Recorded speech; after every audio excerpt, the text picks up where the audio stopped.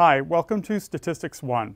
This is the first lecture, and the topic for this lecture is experimental research. As I mentioned in the introduction video, it's important to know as either a consumer of, of statistics or as someone engaged in statistical analyses, what type of research are you doing? What kinds of questions are you asking and, and what kinds of questions might you ask of your data? So in this first week, we'll talk about first experimental research here in lecture one, and then correlational research in lecture two, because they have a very different feel, uh, and they, they typically work with uh, very different kinds of data. Uh, so let's, here in this first lecture, talk about experimental research. This first lecture is broken up into three segments, and that'll be common as we go through the course. Uh, each lecture will be typically broken into either two or three segments, uh, hopefully around 10 minutes each, but uh, that'll fluctuate a bit. Um, so in this first lecture, we have three segments. The first one, I'll give you just an example of experimental research in action, uh, the polio vaccine trials. Uh, another, in the second segment, I'll give you another example, uh, more recent research on working memory training. And then in the third segment, we'll talk more about this concept of randomness. Uh, you'll see an important aspect to experimental research is random selection from a population and random assignment to conditions. So let's go into this first segment. In the first half of the 20th century, uh, there were approximately 20,000 cases of polio per year in the USA. In 1952 was a particularly bad year. There were 58,000 cases just in that one year alone. And polio was a very debilitating disease. It was very frightening. Uh, it, it, it was uh, happened among children of all uh, backgrounds. Um, and some years, uh, as I noted here, 1952, were particularly bad and, and, and, and worrying. Um, so in 1952, the first effective polio vaccine was developed by Dr. Jonas Salk. And how do we know in retrospect, uh, you know, over 60 years later, how do we know that it was effective? Well, through experimental research, more specifically through randomized controlled experiments. And this set of studies is now known as the Salk vaccine trials. Uh, one of the greatest examples of experimental research put to use to solve a very critical problem facing uh, modern society. And it's a really uh, great success story of, ex of experimental research. So, how did it work? Well, to do experimental research, again, go back to the introductory lecture, we need a sample and we need a population. So, what was the population? At first, the population was all children in the USA, and it tip, actually the population really is all children worldwide, uh, but these initial studies were funded by the US government, uh, the Salk vaccine trials, so I'll define the population as all children in the US. That's, that's who Salk was uh, hoping he could generalize his vaccine results to, uh, is all children in the US. The sample, of course, he couldn't get his hands on all children in the US. So the sample initially was just 4,000 children from the state of Virginia.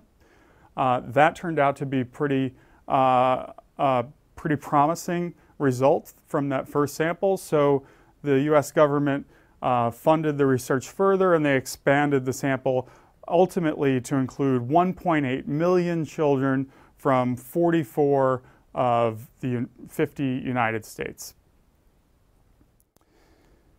So in this experiment, the independent variable, or what some people might call the treatment, is what the child actually receives. So some children received the actual live vaccine, the polio vaccine, and other children received a placebo. So they got a vaccine, but there was no uh, live, live, polio vaccine, it was just uh, placebo. The dependent variable is what you measure after the treatment. So the dependent variable was you can think of this in one of two ways. One, if you look at the level of the individual child, you could think of it as a polio diagnosis. So each individual child is either going to have a polio diagnosis, so we, we could score that as a 1, or uh, no, not be diagnosed with polio, so we score that as a 0.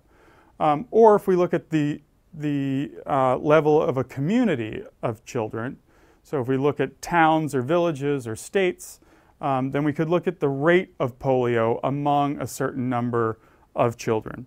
So two different ways to score this uh, dependent variable. One of the cool things about using the Salk vaccine trial as an example to start this course is it was a double-blind experiment. Those are actually pretty rare in, experiment, in experimental psychology or in, in uh, experimental trials uh, in general because it's difficult to do. What I mean by double blind is that the experimenter didn't know if the treatment that they were giving to the child was the placebo or was the vaccine. So the person administering uh, the actual vaccine didn't know if the child was getting the vaccine or getting the placebo. So no one on site at the time knew which one the child was getting, and the child and the parents, they didn't know if they were getting the vaccine or the placebo. The final results from several trials can be summarized here. This is the rate per 100,000. So children who were given the vaccine, 28 out of 100,000 went on to develop polio versus the control who got a placebo, 71 out of 100,000 developed polio. So you can see almost three times more children who did not receive the vaccine went on to develop polio. So we can see just looking at these numbers that this was a success story. And sure enough, the US continued to use the Salk vaccine, and by 1994, polio had been completely eradicated from all of the Americas. So, this is a great success story of how we can see experimental research put to use to solve a problem and eradicate what I call bad stuff. Um, so, to summarize this segment, the major benefit of experimental research is they allow for strong claims about causality. So, why does stuff happen? So, why was the polio uh, vaccine happening? Well, there was this, this disease that was spreading through communities. Salk thought he had a vaccine that could prevent it. And sure enough, if he gave the, gave the vaccination to enough children, they were able to prevent the bad stuff from happening. So, again, experiments allow us to make causal claims about why stuff happens. So, that allows us to predict stuff, which means we can pre prevent bad stuff and we can promote good stuff. so we use it in very basic terms, right? Um, so this is an example where society saw we have a lot of bad stuff happening. We have this disease we have to eradicate. And if we can do an experiment to predict uh, why it's happening and how we can stop it, then indeed we can stop it. And that's what the Salk vaccine trials uh, were able to do. These strong causal claims require a lot of things. So they require what I call true independent variables.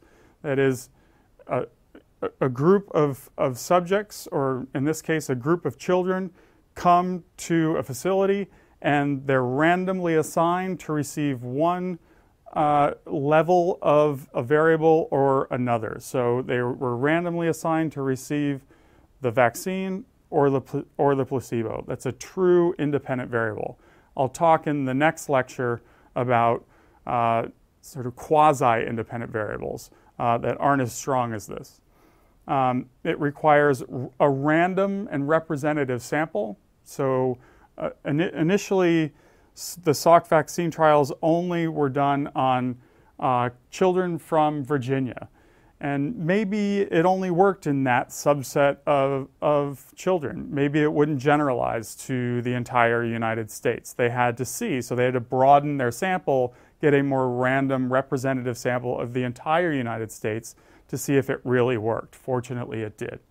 Um, and finally, experimental research and these strong causal claims uh, depend on the require that we don't have any confounds in the experiment.